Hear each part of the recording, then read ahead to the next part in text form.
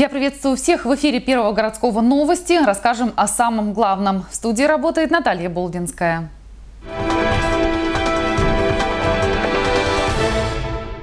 Поговорим о таком. Криворожанин, который ударил ножом в грудь собутыльника, а потом перерезал ему горло, отправится в СИЗО на два месяца. Криворізьким відділом поліції е, 15 липня 2017 року порушено кримінальне провадження за ознаками статті е, 115 частини 1 Кримінального кодексу України для умисного вбивства. Авария на Сурикова. Пострадало пять взрослых и двое детей. Ехала я по главной, то есть на, на зеленый свет светофора меня не пропустил водитель «Опеля». Ну и вот последствия.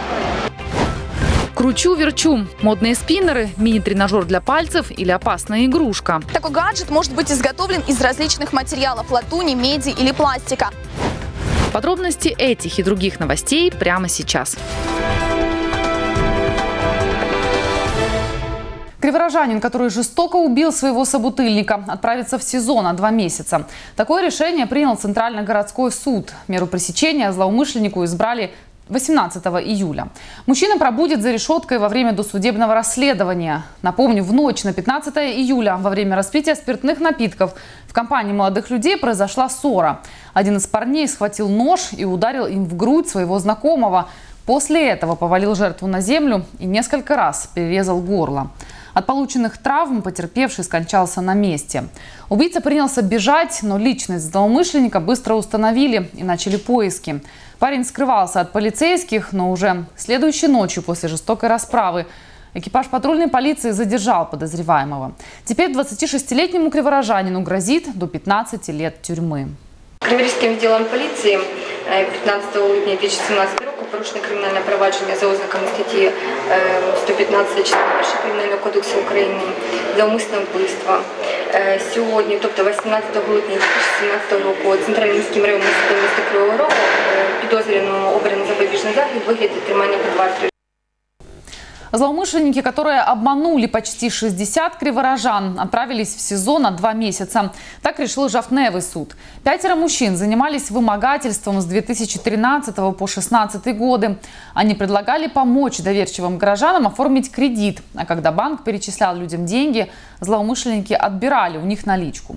Многих потерпевших преступники вывозили на карьер и избивали. Таким образом, злоумышленники обманули почти 60 горожан на общую сумму более 1 миллиона гривен. Один из подозреваемых – азиат, поэтому в народе это ОПГ прозвали бандой китайца. Напомню, злоумышленников задержали в декабре прошлого года. Им грозит до 13 лет тюрьмы и конфискация имущества.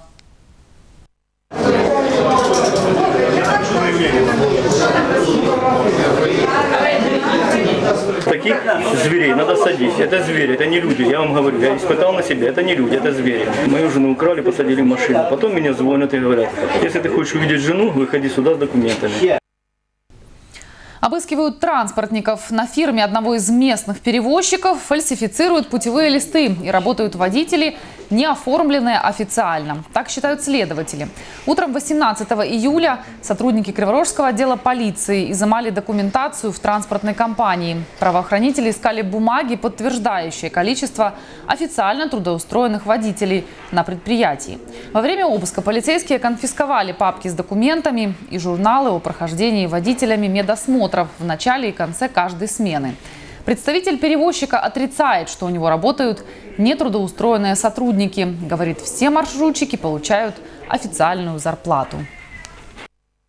А что, что за маршруты у вас вообще? 230, 231, 364, 209, 250.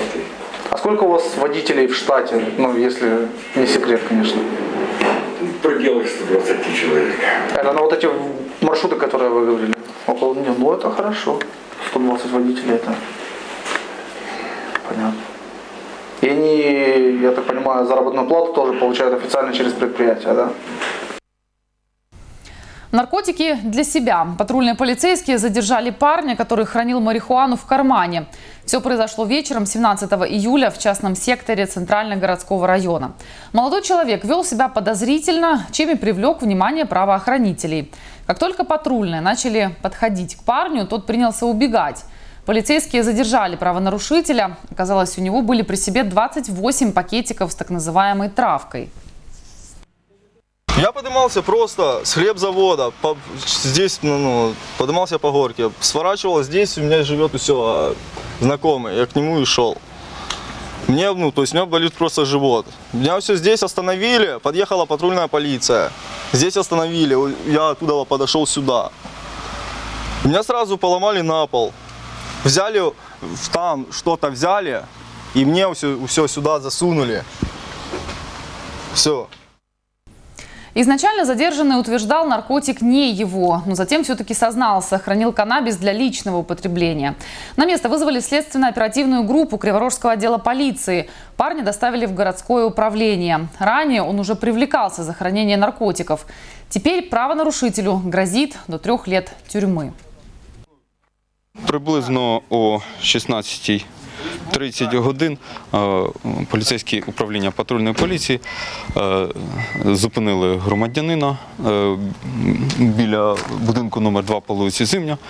Під час е, поверхневого огляду у нього було виявлено речовину, схожу на наркотичну. Нами було вилучено з кишені куртки е, громадянина 28 пакетиків, сліп пакетиків, у яких зберігалась речовина природнього рослинного походження, зеленого кольору, схожа на канабіс. Авария на Сурикова. Пострадало пять взрослых и двое детей. На перекрестке улиц Сергея Калачевского и Сурикова столкнулись две легковушки. По словам очевидцев, «Опель» поворачивал налево и не уступил дорогу Линкольну, который двигался навстречу. Удар был такой силы, что автомобиль развернуло в разные стороны. Он двигался со своей семьей, с крестницей, с сыном своим в восьмую больницу на обследование. Ну вот на Сурикова меня не пропустил. Ехала я по главной, то есть на, на зеленый свет меня не пропустил водитель Опеля. Ну и вот последствия. В обеих машинах были пассажиры. Всего в аварии пострадало 7 человек, в том числе и двое детей. Водители иномарок отказались от госпитализации, остальных скорая отвезла в восьмую горбольницу. На месте работали патрульные. Подробности случившегося выясняют следователи Терновского отделения полиции. Начали спасать людей, детей, ну потому что ну парень был сильно разбитая голова, разорванная бровь, там ну бы его скорая забрала. А с, с Опеля, да, он пассажиром был. А в Линкольне там тоже была ну, водитель, женщина, я так понял, мать. И две, две девушки молодые с двумя детками. Одно вообще грудное в колясочке, а это, ну, девочка маленькая, что постарше, та ударилась головой, приехала скорая и забрали восьмую больницу. Сбил пенсионера. В Покровском районе водитель на «Жигулях» наехал на мужчину, который переходил дорогу в неположенном месте. Пожилого пешехода с подозрением на перелом ноги и ребер забрали в тысячку. В легковушке разбито лобовое стекло, повреждено крыло и капот. По словам автомобилиста, пешеход выбежал на дорогу в неположенном месте на красный свет. Водитель начал тормозить, но остановить машину не успел. На месте аварии работал экипаж патрульных и следователь Криворожского отдела полиции. Обстоятельства происшествия устанавливаются.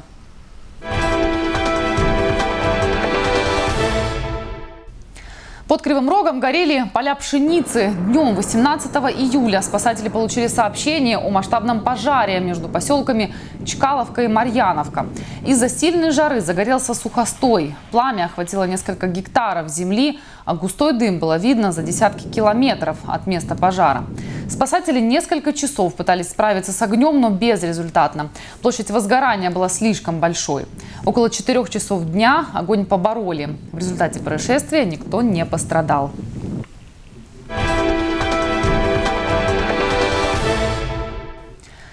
Против рекламы наркотиков 18 июля возле здания полиции на проспекте Почтовом люди собрались на акцию против рекламы наркотиков. Надписи сайта, который занимается продажей запрещенных веществ, все чаще появляются на домах, остановках и в подземных переходах. Митингующие принесли с собой плакаты, на которых был изображен крот, а также надписи «Не вижу никаких наркотиков». Наша мета звільнити Кривий Ріг від наркотиків. Ми е, вимагаємо, щоб е, заборонили щоб не було розповсюдження наркотиків. Ми сьогодні прийшли з заявою про вчинення кримінальних правопорушень в сфері обігу наркотичних засобів. Це місто бачить, а не бачать тільки поліціянти. Тому ми звертаємо на це увагу. Ми просимо зупинити розповсюдження наркотиків в нашому місті. Активисты передали заявление сотрудникам полиции. Правоохранители, в свою очередь, сказали, уже занимаются этой проблемой и ищут администратора сайта. Что касается устранения наружной рекламы, то ее обещают убрать совместно с коммунальщиками. Згідно нашого аналізу, який ми проводили, значить, ми встановили місце е, реєстрації цього аналізу. Вона зареєстрована в Російській Федерації. Ми встановили особу, на яка цей сайт зареєстрований, через який розповсюджуються ці наркотичні засоби. Ми розуміємо інформацію роботи, як переводяться гроші в бінкоїни. Кручу-верчу. Все чаще в руках у подростков можно увидеть спиннеры. Модные гаджеты, которые, по словам продавцов этих игрушек, развивают моторику, внимание и помогают отвлечься от компьютера. Крутилки стоят от 50 гривен до нескольких тысяч. Все зависит от дизайна и материала, из которого они сделаны. Такой гаджет вызывает интерес в основном у подростков, которые выполняют с ним различные трюки. А вот насколько безопасны спиннеры, узнавала Карина Гутяр. Раз, два, три, погнали. Уровень мастерства владельца спиннера зависит от его вращения. Мега популярная игрушка, на которой зациклился весь мир. Максим и Георгий увлекаются спиннерами. Рассказывают, эта вертушка помогает снять стресс. Появилась относительно недавно, месяца три назад. Полезно, и считаю, вряд ли. Просто бывает, может убить много времени, когда э, скучно, или когда, например, нервничаешь, тоже антистресс своеобразный. Увлекаюсь спиннером уже несколько месяцев.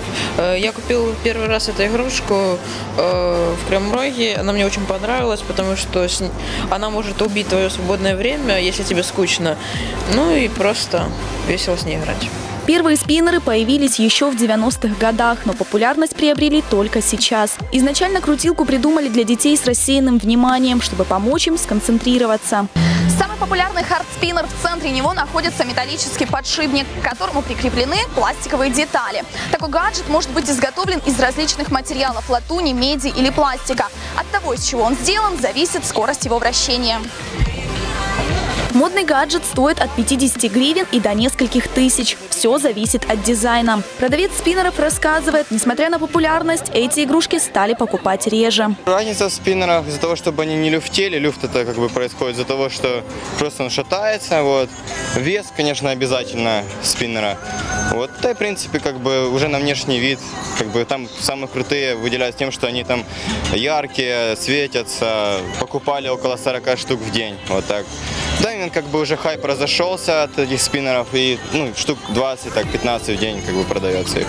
Спиннерами увлекаются в основном подростки. Как рассказывает психолог, он у них вызывает интерес. Но никакого развивающего эффекта игрушка не имеет. Говорить о пользе спиннера, ну, я бы не стал. Это, ну, как бы вещь, которая просто по- помогает э, ну, скоротать время. Само вращение, э, по сути, вот, оно не дает того развивающего эффекта, как, возможно, другие игры э, вот, с предметами более сложными, с которыми можно проводить какие-то манипуляции, которые действительно развивают там, координацию движений. Спиннер, ну, по моему мнению, такого развивающего эффекта не имеет.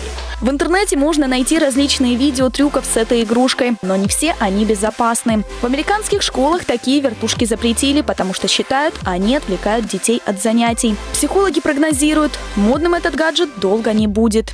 Карина Гутяр, Дмитрий Микрюков, Первый городской. Давайте будем честными. Большинство из нас не завтракает. И причин, оправдывающих отсутствие утреннего приема пищи, находится тысячи. У кого-то катастрофически не хватает времени. Кто-то боится поправиться, а некоторые не могут проснуться. И ничего, кроме чашки кофе, в них не помещается.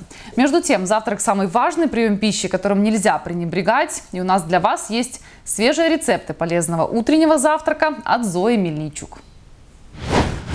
Упадок сил и нет никакого настроения. Куда и как бы вы ни спешили, завтрак пропускать нельзя. Ведь это плохо скажется на вашей фигуре и самочувствии. Ведь именно завтрак заряжает вас энергией на утренние тренировки. Если вы занимаетесь спортом по утрам, то завтракать следует минут через 40 после тренировки. Рацион белковый, то есть блюдо с преимущественным содержанием белка, мяса или рыбы. Смотрите, утро наше должно начинаться в первую очередь со стакана воды для пробуждения организма. Если вы планируете утреннюю тренировку, то вам необходимо позавтракать за 40 минут до этого. Идеальный завтрак – это цельнозерновая каша со свежими фруктами или же стакан кефира. Поддерживать свой обмен веществ вам помогут регулярные физические нагрузки. А теперь несколько рецептов, которые просто приготовить дома. Это не только сытно, но еще и здорово. Яйца пашот с лососем. Э, наш организм состоит из белков, жиров, углеводов. Это реально белковый завтрак. Э, яйца пашот, ломтики хрустящего хлеба, маринованный лосось и зелень. Идеально то, что подойдет вам на завтрак. Также овсянка-пармезанка, цельнозерновая овсянка с ломтиками вкусного пармезана. Семена чиа с йогуртом и гранолой. То, что зарядит ваш организм, энергия на весь день. Также можно завтракать с сырниками. Сырниками как сладкими, так и солеными. Завтрак – это главный прием пищи. Он должен составлять около 30-40% от всего рациона человека. А еще ученые говорят, если покушать в течение часа после пробуждения, то настроение будет лучше. Зоя Мельничук, Александр Бондаренко, Первый городской. Таким увидели этот день журналисты Первого городского. В студии работала Наталья Болдинская. Спасибо, что с нами. До встречи.